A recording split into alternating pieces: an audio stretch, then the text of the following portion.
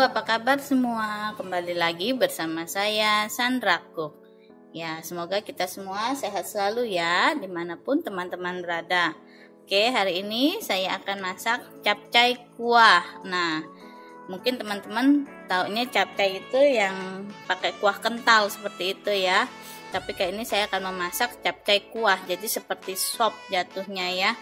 Ini enak sekali, tidak kalah dengan capcay goreng ya oke bahan-bahannya apa saja?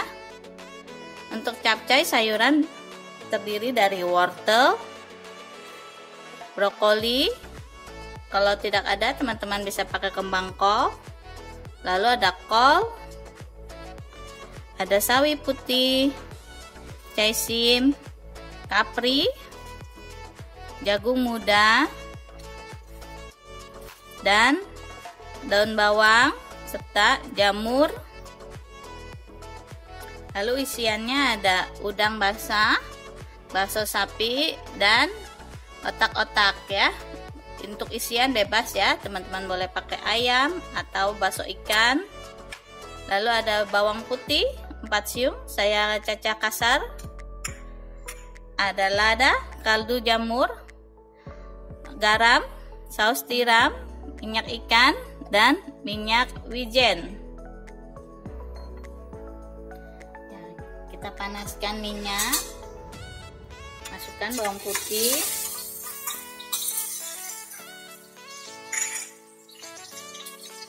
tumis hingga harum.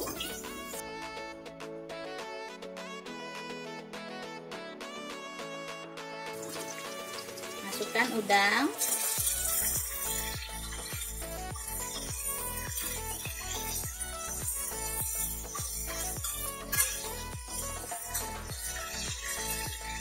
Masukkan otak-otak. Dan bakso.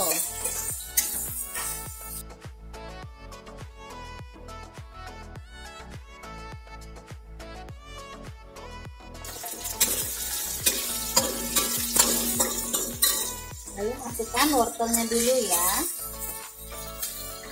Karena wortel teksturnya tuh lebih keras kita masaknya lebih dulu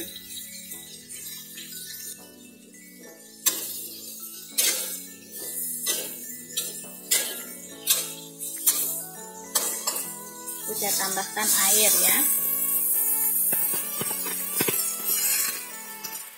Karena ini capcay kuah jadi airnya banyak.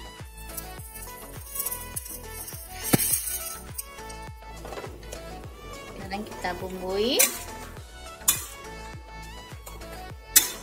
dengan garam.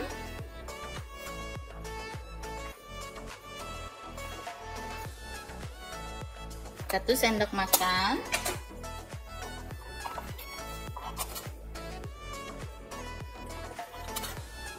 lada 1 sendok teh.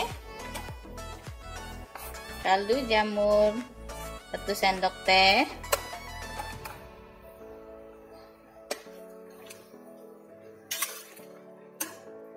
Kecap ikan 1 sendok makan. Minyak wijen 1 sendok makan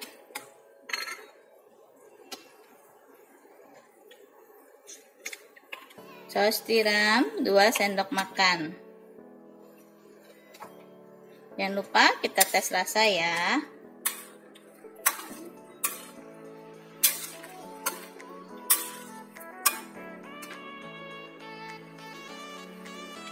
Ya setelah wortelnya setengah matang baru kita masukkan sayuran yang lainnya.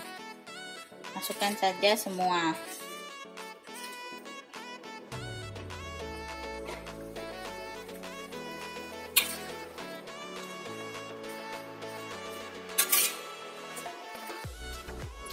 ini saya beli sayurnya tuh cuman satu bungkus teman-teman. Jatuhnya 10.000 doang. Saya minta pedagangnya bungkusin capcay. Nah sayurannya segini banyak tuh teman-teman. Saya hanya nambah wortel satu dan kita hanya menambah isiannya bakso dan lain-lainnya. Ini kita gunakan api besar ya teman-teman. 10.000 sayur jadinya banyak sekali. Sekuali bisa untuk makan pagi sore. Saya mau tambahkan airnya ya karena ini capcay kuah.